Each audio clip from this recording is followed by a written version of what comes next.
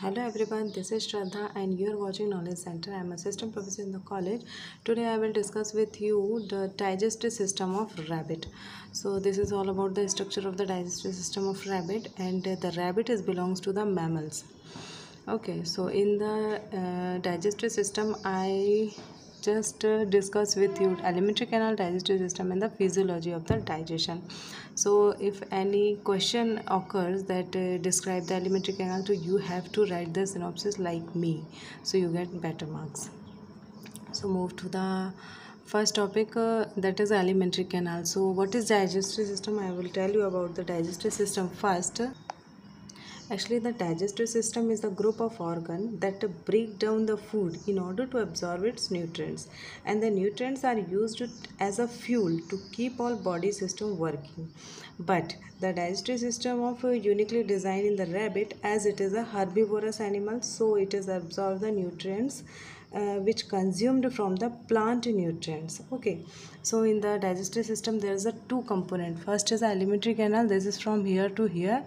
And second is a digestive gland. That is 1 2 and 3 okay, just move to the first point. That is alimentary canal. So alimentary canal is a long tube like structure as you seen in the diagram. And it is expanding from the mouth to the anus okay. So first point is the mouth. And uh, there is a seven parts in the alimentary canal. Mouth vestibule buccal cavity pharynx esophagus stomach intestine and uh, in the intestine there is a two part small intestine and large intestine. Listen all the points uh, all the parts of alimentary canal are just similar to the other animals. So don't be confused. And uh, uh we move to the first point mouth. So uh, in the rabbit mouth is a wide slit like uh, slit like structure and opening with uh, covered with the lips. And outer uh, jo, um, outer covering of mouth is uh, have uh, some hairs called vertebrae and internal it's covered with the mucous membrane. Then mouth is open to the vestibule. I didn't draw this the, these four point because it is just internal mouth structure. So next mouth is open to the vestibule and it lies between the lips cheeks and gums of the jaws. And next uh, it open to the buccal cavity. This is the main point. Buccal cavity is just a large spacious chamber in between the jaws and uh, in the roof if it have palates. On the floor it have tongue and uh, teeth are present of the sides of the tongue. And in, in there is a one uh, duct open that is called a nasoclear duct. Uh, that is expand to the nasal cavity for uh, this is responsible for the only respiration. Okay. Next uh, one jacobson organ present in the buccal cavity that is um, just recognize that uh, which kind of food is this okay and when we talk about the teeth of the rabbit uh, it have a heterodont dentition means it's have incisor for tearing the tooth uh, food and uh, premolar and molar for grind the food and canine are not present in the rabbit. Now the buccal cavity open to the pharynx. Uh, pharynx is just a narrow um, narrow narrow tube like structure. It is open to the esophagus. That is the esophagus. Okay so esophagus is a long uh, tubular like structure that is transferred food to the mouth to the stomach only. Then it's open to the stomach. This is all about the structure of the stomach. It is a large sac like structure and uh, it have three parts uh, cardiac region pyloric region and fundic region and one more thing from the stomach there is a start the valve. Because uh, from the stomach uh, there is a mouth vestibule buccal cavity pharynx and esophagus. This is a just a long uh, uh, horizontal structure so food automatically go down. But uh, this stomach is just a horizontal structure that's why uh, it's have a wall to prevent the backward flow of the food. There is a stomach stomach is a just a like sac like structure have three parts. Cardiac region pyloric region and this is a fundic region this is cardiac region this is pyloric region and this is in between that is a fundic region okay uh, so cardiac region is the anterior part and there is a wall called cardiac wall and pyloric is a posterior uh, region of the stomach that uh, and in in the pyloric region there is a pyloric wall present and in between cardiac and pyloric there is a fundic region present okay. So in the stomach there is two wall present cardiac uh, valve and pyloric valve to prevent the backward flow of the food.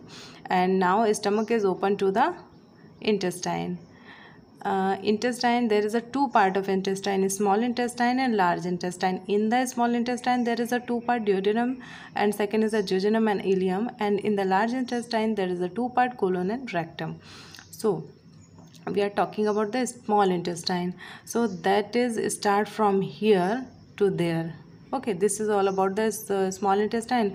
So uh, what is the structure? It is a tube like uh, structure that is a coiled tube like structure actually and uh, first part is a duodenum. Duodenum is a u type structure and in the duodenum there is a uh, one digestive gland present that is called uh, pancreas that uh, have pancreatic duct to um, secrete the pancreatic juice uh, so uh, and in the duodenum there is a four layers are present. Uh, that is serosa layer muscularis layer submucosa layer and mucosa layer. So submucosa in the submucosa layer there is a brunner gland present which secrete mucus to protect the stomach internal lining from the acid. Okay and the second is the mucous membrane that is secretes just mucus membrane mucus mucus only है ना? So mucus secrete from the duodenum and the mouth two part secrete the mucus okay next it's open to the jejunum ileum so jejunum ileum they both are not differentiate morphologically but they are different part two different part. And in the uh, internal uh, when we talk about the internal structure of uh, jejunum ileum so it have a finger like structure. Uh, i will explain you sorry like this. Finger like structure that is called villi. In complete uh, duodenum and ileum have the villi. And it just to absorb the nutrient from the food. And the last part is called a sacculus rotundus that is open to the cecum and uh, what is cecum it is a blind sac like structure in between the small intestine and large intestine. This is uh, uh, from here the large intestine arises and uh, from there the small intestine ends. So in between small intestine and large intestine one sac like structure occurs that is called a cecum and the uh, last point is a finger like projection form that is called vermiform appendages uh, that is help uh, proper movement and removal of waste matter in the digestive system. And uh, when we talk about the large intestine so there is a two part colon and rectum. So uh, colon colon is a just is a longitudinally uh, tube like structure and it's have tendon to absorb water from the uh, undigested food and it's open to the uh, rectum. Rectum is the last swollen part. This is last swollen part called rectum and uh, it is uh, just for absorbing not absorbing anything just movement for the waste product and it's open to the anus. And anus is the external aperture which is guarded by the sphincter through which the undigested matter passed out. Okay? So this is all about the alimentary canal of the rabbit and next one is the digestive gland. So there is a three digestive gland. One is a salivary gland second pancreas and third is a liver. Salivary gland present in the buccal cavity means mouth. These all are the vestibule buccal cavity pharynx these all parts of the mouth only. So when we talk about salivary gland there is a four type of salivary gland parotid gland, infra in uh, infraorbital gland, submaxillary gland and sublingual gland and all are secret just uh, mucus. Okay and uh, saliva and it contain mucin and one enzyme that is called ptyalin. First mucin, second ptyalin. Mucin is moisture the food with the help of lubricated and ptyalin enzyme digest starch to the maltose. Okay okay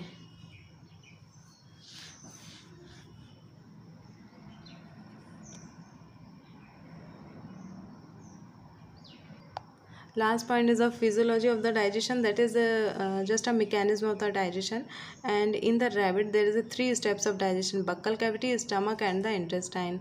Uh, why? Because buccal cavity secretes saliva stomach secrete uh, just uh, liver and gallbladder uh, secrete the bile juice that is uh, secret in the stomach and duodenum also. And third is a pancreas. So three digestive gland present in the rabbit alimentary canal uh, so first when we talk about the buccal cavity digestion so in the buccal cavity there is a saliva present and in the saliva there is a two enzyme mucin and ptyalin i told you before. And uh, the ptyalin just decompose starch to the maltose and dextrin. So the food convert into bolus the term used i bolus that is soft pulpy pulpy mass that is transferred from the esophagus okay uh, so food convert to bolus in the buccal cavity. Then it uh, uh, then second digestion is a digestion in the stomach. So there is a gastric gland present that secrete the gastric juice and the muscles just contract and release. So uh, they just uh, food uh, breakdown there is a three enzymes present rennin pepsin and lipase. Rennin just decompose milk protein to the curd and pepsin just decompose protein to the peptones and protease and fat just decompose lipase to the fatty acid and glycerol. Uh, so now food convert into thick solution called uh, chyme that is uh, transfer into intestine. And at last uh, it just uh, digestion in the intestine that i wrote here uh, in the intestine here two hormone and three juices are uh, just sick first hormone is called cholecystokinin. It stimulates from the gallbladder and uh, uh, release the bile juice. And second is the secretin. It is stimulate from the pancreas and uh, release the pancreatic juice. And there is a three juice present bile juice uh, it break down the fat into a smaller part. Second is the pancreatic juice is contained several enzymes including inactive and anti-active enzyme. And third is the intestinal juice. It helps uh, to digest the fat carbohydrate and protein. Uh, so so means in the buccal cavity there is a uh, saliva present there is a two enzyme ptyalin and mucin. And in the stomach there is a rennin pepsin and lipase present. And third in the intestine there is a uh, inactive and active enzyme present. And uh, trypsin and amylase is a main enzyme that is decompose the peptones and protease to amino acid and starch to the maltose. And uh, maltose then come to the intestinal juice. So there is a maltase enzyme that uh, decompose maltose to the glucose sucrose to the glucose and fructose and lactose to the glucose and galactose. So all the glucose fatty acid glycerol absorbed from the villi of the intestine that is the villi and uh, undigested food passed out uh, from the with the colon. And it uh, it, it, it is from the palates it discard through the anus. This so this is all about the alimentary canal. I will give the just a brief. So there is a two parts of alimentary canal. First uh, there is a seven part of the alimentary canal. Mouth vestibule buccal cavity pharynx esophagus stomach. In the stomach there is a three region cardiac region pyloric region fundic region and intestine there is a two part of intestine small intestine and large intestine. In the small intestine there is a duodenum and jejunum and ileum and in the large intestine there is a colon and rectum. And second part is a digestive gland. So there is a three digestive glands salivary gland pancreas and liver. And third uh, we talk about the uh, mechanism of the digestion. So there is a three mechanisms three steps of mechanism. First step is a buccal cavity that form a bolus. And in the stomach they form a uh, uh chyme. And uh, intestine they just release the waste product from the anus so this is all about the digestive canal of the um, digestive system of the rabbit. If you like it so please subscribe and share with your friend. Thank you so much for watching my channel